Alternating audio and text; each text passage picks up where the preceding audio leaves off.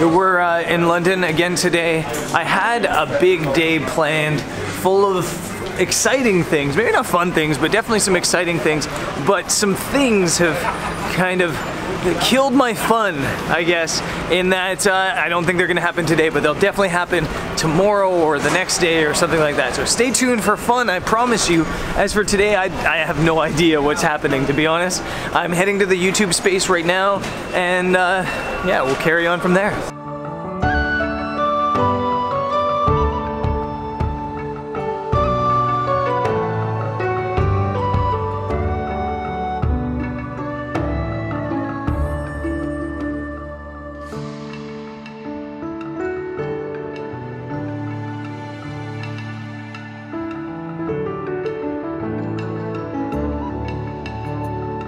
We're at St. Pancras.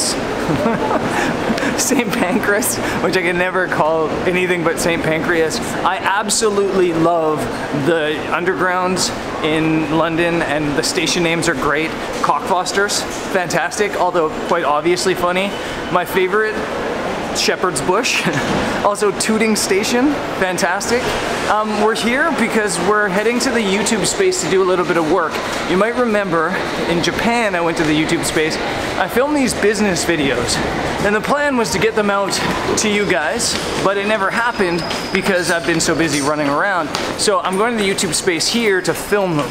Not to film them, to edit them and hopefully have some of these business videos ready for you fairly soon. So I'm gonna try not to run into people and head into YouTube.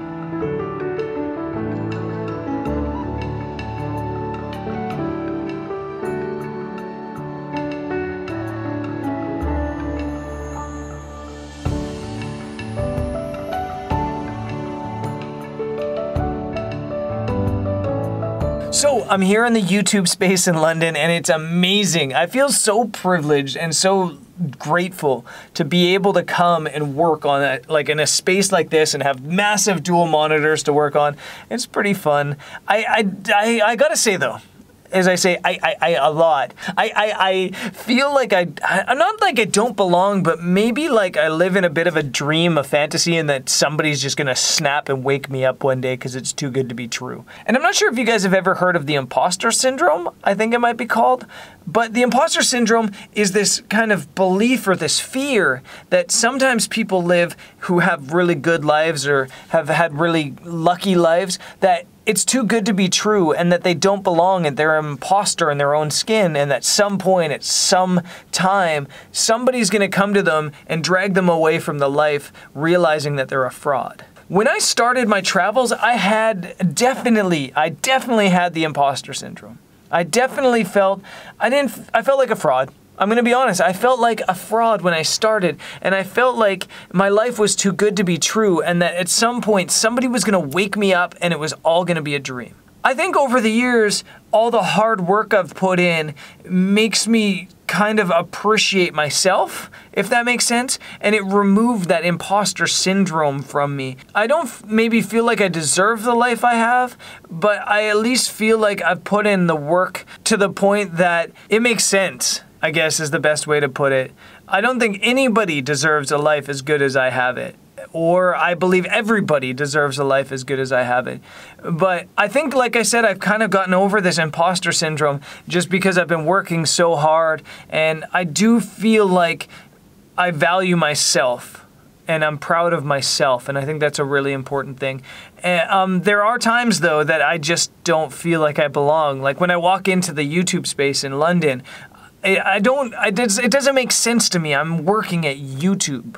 It, yeah, like uh, it just boggles my mind. So um, I wanted to not talk about that. I wanted to talk about two things quick. I wanted to talk about first camera gear because the plan on today's episode wasn't to sit here and film in here. The plan was to go on a shopping spree because I'm about to go on a huge shopping spree for camera gear. And I still haven't fully decided what I'm gonna do, uh, but I think what I'm gonna do is buy some new lenses. Uh, I kind of want to backtrack, I guess, to the thought making, um, I guess, scenario of how I'm going to buy the next set of lenses and what I'm going to buy and why I'm going to buy them. So let me talk about that quick. I started a business a, a, couple months ago, five months ago, six months ago, something like that. And I've been slowly transferring everything into my business just because it makes more sense from a liability, from an insurance standpoint, and from a business standpoint. But all my camera gear is personal. All the camera gear I own, I paid for. It's my personal gear that I use for business. And that just doesn't make sense from a business standpoint. So I've been trying to think how can I shift my gear into my business? How can I make my gear my business? Sis gear. um, and I thought to myself, why don't I just sell all my gear? And honestly, two days ago, I was this close to selling every single piece of my equipment, all my lenses, all my camera gear, and just being like, okay, I'm starting fresh. I'm at zero. Taking all the money back, putting that in my personal account, and then buying all new gear on the business credit cards. And to be honest, I almost, like I said, I was this close to doing it, and I almost switched to Sony. And don't tell Canon I said that, but literally, I thought if I had no gear left, what would I want? What would I buy? And the answer was the Sony gear. And a lot of that comes down to seeing the guys shooting the A7R3 in Patagonia and how good the files came out from that, how much shadow recovery came from that. It almost took me over to the Sony side. And I was really close to doing it until I came to the realization that I could just sell my personal camera gear to my business as a used product, and that would just be so much easier and cheaper. Basically, what I've done is I've sold my 5D Mark IV, and my 16 to 35, to my business. So I no longer own them as a person, my business now owns them. And then with the business credit cards, I'm gonna be doing some lens shopping because my 70 to 200's dying. Like the element is kind of loose. It could probably be fixed, but it is seven, eight years old. So I'm gonna give that away to somebody. I've been going through Twitter and seeing if I can find somebody to give it away to. My 50 millimeter, um, I didn't show it or film it, but in Texas, it completely crapped out. It's done, it's toast. It's not even with me anymore. So I need to find a way to get more length in my lenses. I now only have 14 millimeters and 16 to 35. I have nothing telephoto.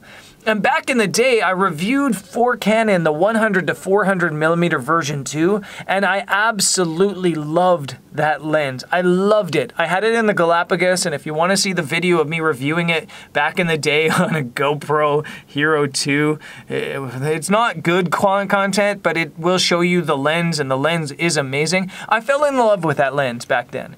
I loved how close I could get to my subject. I loved the wildlife opportunities. I loved how sharp it was it was just such a good lens that I've always been saying I want to buy it again. So with the 70 to 200 soon to be gone, I'm gonna buy the 100 to 400. But now I have to fill that gap from 35 to 100. So I'm doing something I've never ever done before and I'm buying a standard zoom lens. I'm gonna buy the 24 to 70 millimeter and I've never ever ever I've never liked shooting anything between 35 and basically 70. It's like this, I rarely shoot it, but I think it will be important to have a, have a stopgap between 35 and 100. So I'm gonna do the 24 to 70 just because I think it's a better lens than the 24 to 105.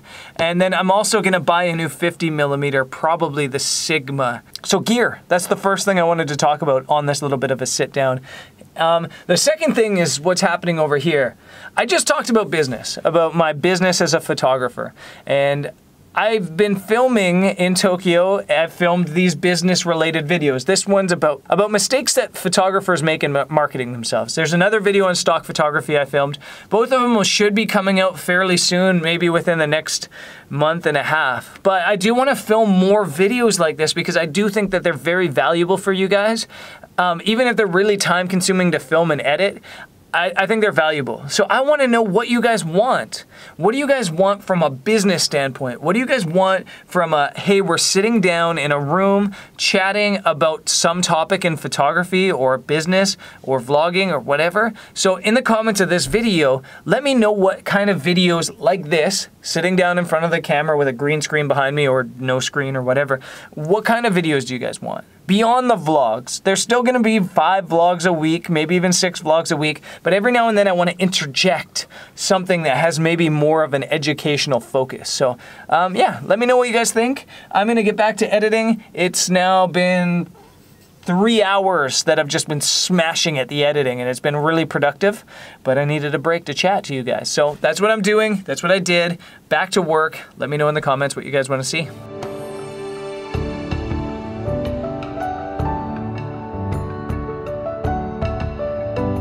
The plan was to work all day at the space and I was hoping that a transfer would come through to my business bank account so I could start spending some money on some camera gear and then it just happened so I couldn't like focus on work anymore. I had the bail and I'm headed towards the camera store but I was smart enough on this little day trip to London to bring my camera batteries and charger. I wasn't smart enough to bring the cable, so the battery might run out before I get home.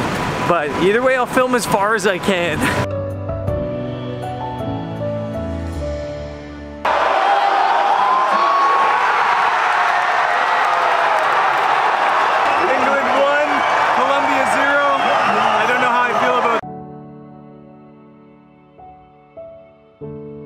Okay, it's tomorrow and I've got all my new gear and to be honest, I don't know how I feel about this. I'm gonna actually bring the camera closer. I don't know how I feel about this because I've I don't know, I've had very simple gear for years and doing a big purchase like this is, yeah, it's crazy. So my bag's new. It's not new, my bag's the same bag, but the setup is different. I'm not gonna do unboxings of every pieces of kit because they're pretty regular kit that everybody has or lots of people have, but this is the setup in the bag now. The bag is totally full. There's no room anywhere in the bag anymore. Um, that's the 100 to 400. The two, 70 to 200, I posted on Twitter asking if somebody wanted it, and a lady named Jan Smith, we found out that she was supposed to photograph her sister's wedding and she doesn't have a telephoto lens. So tomorrow I'm gonna go and ship that lens to her. Um, basically the 70 to 200 f2.8 is almost basically the same size as the 100 to 400. So it doesn't really add that much to the bag. Um, and it's a, just a brilliant lens. I'm excited to get that out into the field. That's my old 16 to 35. This is also new, 24 to 70 f2.8 version 2. I've never liked standard zoom. I like to go really wide or telephoto because I think that standard zoom kind of looks pretty normal to the eye. But at the same time, without having a 70 to 200, I'm sure there's gonna be times that I wanna get between 50 and 70 millimeters for landscape photos. So that's there. Um, this is the 40 millimeter pancake lens. That's mostly used for video. It's f2.8 as well, 40 millimeters. I do put it on the DSLR and shoot some pictures with it though. I actually really like that lens. And then this is also new, the Sigma 50 millimeter f1.4. The thing I noticed right away about this lens is it's heavy. It's so heavy compared to my old um, Canon 50 millimeter 1.4, um, which I actually hated more than anything in this entire world. I hated that lens so much.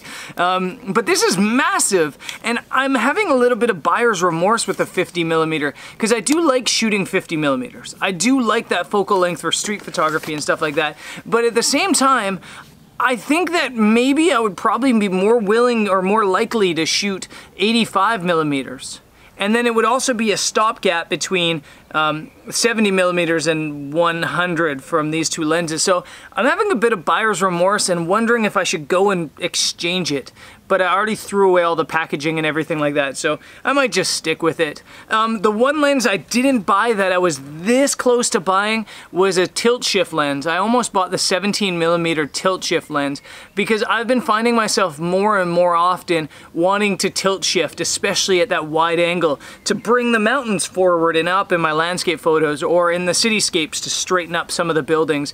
So I might go lens shopping again before I leave Europe or maybe buy something in South Africa, but uh, I'll have to figure that out later. The other thing is, I no longer have room. I could probably fit one more lens in right here, but I have my 14 millimeter Rokinon lens that's going in there. Um, I could maybe squeeze more, one more lens in this bag, but the bag's packed. So I have to be smart with my kit as a travel photographer. So as much as I want a tilt shift lens, it probably just doesn't make practical sense to have one. In total, I'm happy and I'm I feel really really lucky that I've been able to um, to buy stuff and that the business is going well. I think one of the videos I'm gonna do at some point, the sit down videos, is just talk about the pros and cons of incorporating a business as a photographer. Because it's been a process, it was, it's been a lot of work, it's been really difficult and it's been a lot of learning going on. And um, yeah I think I want to talk about having a photography business versus being a sole proprietor photographer and what the advantages are and when you should do it and all that stuff. So maybe look for that video. Also look for the videos that I filmed in the YouTube space in Tokyo fairly soon, hopefully within a month, um, as things start to slow down with the travel a little bit. Sorry there's been a lot of talking today, but that's it for today's video. It's been fun. It was fun at the YouTube space. It's been fun to buy new gear, and I'm looking forward to taking this gear out in the field, and that should be happening really soon. I'll see you guys there. Peace.